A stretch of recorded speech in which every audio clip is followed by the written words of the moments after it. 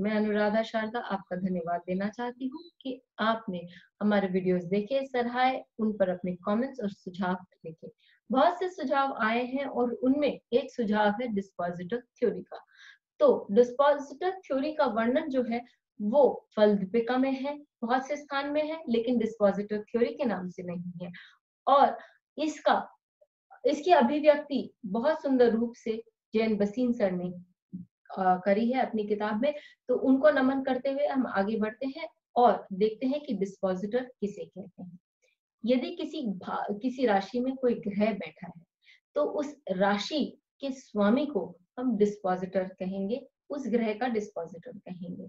अर्थात यदि जुपिटर यदि सिंह राशि में बैठा है तो इस बृहस्पति के डिस्पोजिटर होंगे सूर्य। यानी कि सूर्य जो है वो सिंह राशि के मालिक होने के कारण इस गुरु के डिस्पोजिटर कहाए जाएँगे। अब डिस्पोजिटर थ्योरी में काफ़ी सारे नियम हैं जो हमें देखने चाहिए। ये काफ़ी सारी बातें हैं जिस पर हमें गौर करनी चाहिए, जो कि हमें एक बहुत सुंदर रूप देते हैं। बताते हैं कि वो प्लैनेट जो है डिस्पोजिटर के कारण वो प्लैनेट कुछ अच्छा रंग दिखा पाएगा या नहीं दिखा पाएगा। सबसे पहले ये देखें कि जिस राशि में कोई ग्रह बैठा है, उसकी डिस्पोजिटर जो है, उस ग्रह की अब कमियाँ बता सकते हैं कि नहीं। यदि कमियाँ बता सकते हैं तो हम देखेंगे किस कारण से बता सकते हैं। फिर हम ये देखें कि छह आठ बारह में वो डिस्पोजिटर उस भाव से या उस राशि से नहीं होने चाहिए। यदि ऐसा है तो वो अर्चने लाते हैं। इसके बनस्पत जैसे मैंने एक वीडियो पहले भी बनाया है कि कैसे जाने कि कोई भी भाव हमें अच्छे फल देगा कि नहीं देगा, उसमें मैंने बताया है फलदीप विज्ञान के कुछ नियम। उसमें एक ये नियम भी है कि यदि उस भाव का स्वामी अपने से एक, दो चार, पाँच, सात, नौ और दस में बैठा हो तो ऐसे भाव का स्वामी बहुत सुंदर अपने भाव के लिए वो फल दे सकता है। तो इसी के लिए छह आठ बारह में वो स्वामी नहीं होना चाहिए। फिर हम ये देखते हैं कि ये जो डिस्पोजिटर है, क्या वो जिस प्लैनेट को डिस्पोजिट कर रहा है उसका कोई मित्र है या शत्रु? अर्थात यदि गुरु सिंह राशि में बैठे हैं तो हम जानते हैं कि सिंह राशि का स्वामी सूर्य और गुरु दोनों आपस में घनिष्ठ मित्रता है दोनों में। तो ये गुरु जो है वो बहुत सुंदर रिज़ल्ट देगा। लेकिन यदि यहाँ राहु बैठ जाए तो ये राहु अच्छे रिजल्ट्स नहीं देगा, क्योंकि राहु और सूर्य जो है वो आपस में शत्रु हैं। फिर हम आगे बढ़ते हैं और देखते हैं कि ये जो डिस्पोजिटर है, वो दिग्बली हो जाए, वो उच्च का हो जाए वो किसी मित्र की राशि में बैठ जाए। तो ऐसा जो डिस्पोजिटर है वो अपने भाव में बैठे या अपनी राशि में बैठे हुए ग्रह को बहुत बल प्रदान कर सकते हैं। यदि आप जिसके घर में रह रहे हैं आप जिसके घर में किराएदार हैं उसका माली मालिक बहुत आ, समर्थ है वो बहुत ऊँचे पदवी पर है तो डेफिनेटली आपकी सहायता करेगा। तो यदि ये सिंह राशि में बैठे गुरु के लिए सूर्य दशम भाव में आ जाते हैं, दिग्बली हो जाते हैं या सूर्य मेष में आ जाते हैं और सूर्य उच्च के हो जाते हैं तो ये सूर्य बहुत सुंदर अपना रूप दिखाते हैं। फिर हम ये भी देखें कि क्या ये जो ग्रह है, ये योग कारक है? यदि ये योग कारक है तो आपको बहुत सुंदर रिज़ल्ट दे सकते हैं। ये डिस्पोजिटर आपको बहुत सुंदर रिज़ल्ट दे सकते हैं। चाहे हम शनि ले लें, शनि जो ये लग्न है, आपका सिंह लग्न है, उसके लिए शनि यदि स्कॉर्पियो में आके बैठे, वृश्चिक राशि में आके बैठे तो हम जानते हैं कि ये शनि जो है वो षष्टम और सप्तम भाव का स्वामी है। ये बहुत सुंदर नहीं फल देते सिंह लगने के लिए। लेकिन क्योंकि ये योग कारक की राशि में आके बैठे हैं और यदि मंगल सही स्थान पर हो तो ये शनि बहुत सुंदर आपको रिजल्ट्स देने में समर्थ होते हैं। तो ये हमने देखे रिज़ल्ट ये हमने देखे कुछ नियम। आए, आगे बढ़े और हम देखें कि ये कहाँ तक सही बैठता है और कुछ हम एग्जाम्पल्स ले। इस थ्योरी के सबसे पहले हम जयललिता जी का चार्ट लेते हैं। जयललिता जी के चार्ट में हम लग आ, देखते हैं लग्नेश को। लग्नेश नवम भाव में बैठे हैं। नवम भाव के जो सिग्निफिकेटर हैं कारक हैं सूर्य उनके साथ बैठे हैं। और तो हम यही कहेंगे कि क्योंकि त्रिकोण और केंद्र के स्वामी, क्योंकि नव जो बुद्ध है, वो चतुर्थ भाव के भी स्वामी है। तो षष्टम तो नवम भाव में जाके बैठे तो हम जानते हैं कि कोण और केंद्र का जो यहाँ संगम हुआ है तो ये बुद्ध बहुत सुंदर रिजल्ट्स देंगे, या ये बुद्ध जो है, वो बहुत सारे इनको फल देंगे। लेकिन ये ना भूले कि जो लग्न का स्वामी है, वो आपके बचपन और लड़कपन को भी दिखाता है। अब हम डिस्पोजिटर थ्योरी पर आते हैं। डिस्पोजिटर थ्योरी के अनुसार यहाँ शनि अपने भाव से षष्टम भाव में आके बैठा है। तो जैसे मैंने कहा छह आठ, बारह भाव में आने से ये शनि बहुत सुंदर रिज़ल्ट नहीं दे पाता।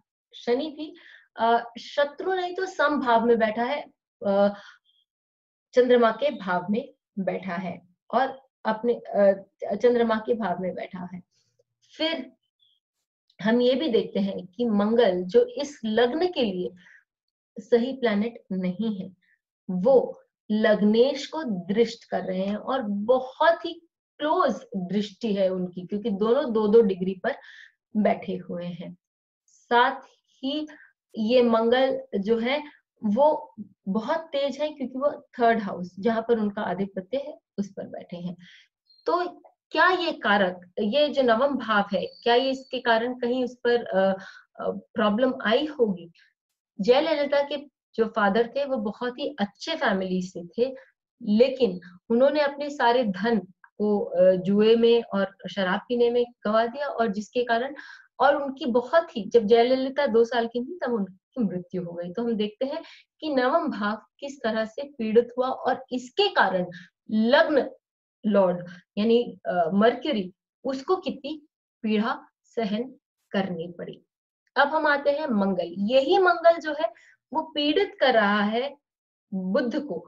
लेकिन जब इसकी दशा आई, अपनी दशा में इसने इन्हें चीफ मिनिस्टर बनाया, इसने इन्हें बहुत सारे नाम, शौहरत, पद और पैसे दिए और और उसके कारण इनकी जो इनकी जो ख्याति है, वो देश विदेश में पहुँची। सबसे छोटी चीफ मिनिस्टर थी, ये अपने स्टेट की। और साथ ही इन्होंने छह टर्म्स तक अपने स्टेट में राज किया है। अब ये मंगल की खूबी हम देखते हैं। इसका जो डिस्पोजिटर है, वो सूर्य है और वो सूर्य नवम भाव में जाके बैठा है। सूर्य नवम भाव का कारक भी है और अपने भाव से, अपने डिस्पोजिटर से सातवें स्थान में बैठा है, जो कि रूल मैंने पहले आपको बताया। साथ ही ये सूर्य इस मंगल को दृष्ट भी कर रहा है, अपने भाव को भी देख रहा है और इसी के कारण अब आप ये भी देखें कि ये जो मंगल है, वो गुरु से भी दृष्ट है और साथ ही जो एक बेनिफिक है, अपने भाव से देख रहे हैं, सप्तम भाव से देख रहे हैं। ये हमें नहीं भूलना चाहिए कि सूर्य और गुरु दोनों ही मंगल के मित्र हैं और उसे दृष्ट करने से वो उसको अपना बल भी दे रहे हैं।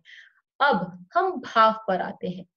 तृतीय भाव जो है, वो आपकी वाक शक्ति का भाव है। वो आपके अनलॉकिंग ऑफ़ द कर्मा का भाव है।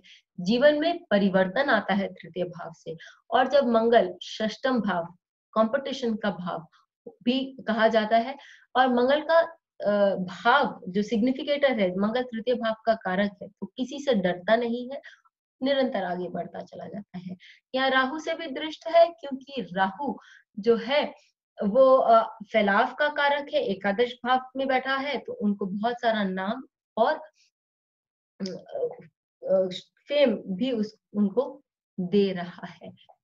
फिर हम ये देखें कि ये ये जो भाव है, तृतीय भाव का हमने वर्णन किया, अब ये राशि कौन सी है?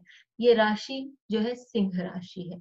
सिंह राशि आपकी प्रवक्त आपकी वाक शक्ति का भाव होता है। साथ ही सिंह राशि गवर्नमेंट का भाव भी होता है और आपको नेम और फेम आपकी ख्याति देश विदेश तक पहुँचने में आपकी सहायता करता है। तो हमने देखा कि इसी इसी राशि की महादशा में जब राशि का स्वामी स्वयं राशि को देख रहा हो, अपने से शुभ स्थान में बैठा हो और ये राशि को निरंतर जो है मित्रों की का जो छाया है वो मिलती है, मित्रों की दृष्टि मिलती है तो ये राशि कितनी पनप कर आगे बढ़ती है और ये मंगल उन्हें षष्टम भाव का स्वामी और एकादश भाव के स्वामी होने के बाद भी, जो कि इस लग्न के लिए सुंदर नहीं है, फिर भी इन्हें बहुत नाम और ख्याति दिलाता है। यही जब राहु राहु का पीरियड इनके जीवन में आया तो इनकी जो प्रॉब्लम्स है, वो आगे बढ़ने लगी, बहुत प्रॉब्लमेटिक लाइफ लाइफ में धीरे धीरे इनके प्रॉब्लम्स आने लगी पॉलिटिकल करियर में। तो हमने देखा कि डिस्पोजिटर का अपने भाव से सही स्थान पर होना और किसी भी ग्रह जो जिसको वो डिस्पोजिट कर रहा है उसके लिए कितना मायने रखता है और उस, मित्रता शत्रुता कितनी मायने रखती है।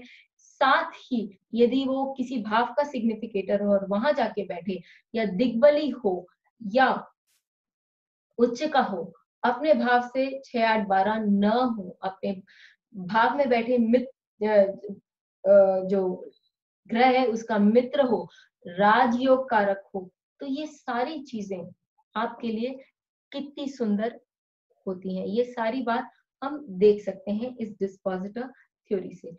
यदि ये डिस्पोजिटर थ्योरी आपको सुंदर लगे तो आप अपने चार्ट्स पर लगाएँ। हमें अपने कमेंट्स लिखकर बताएँ कि ये आपको चार्ट एनालिसिस में कितनी मदद करते हैं और आपका एनालिसिस कितना सटीक बैठता है। फिर अपने कमेंट्स और सजेशंस लिखने ना भूलें। हमें लाइक शेयर सब्सक्राइब करना ना भूलें। फिर मिलेंगे एक नए वीडियो में। तब तक के लिए धन्यवाद।